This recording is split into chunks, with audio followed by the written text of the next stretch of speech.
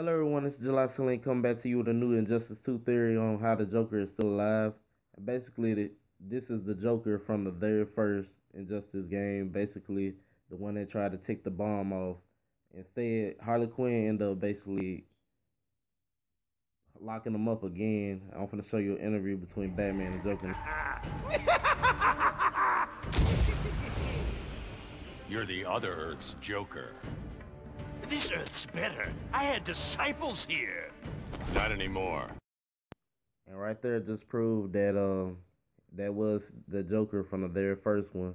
But to prove it off, I'm gonna show you the evidence from the first Injustice.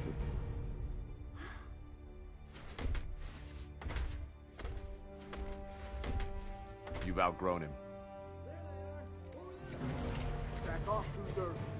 Easy, guys. He's on our side. Turns out he wasn't. Take care of him. Keep him locked up this time.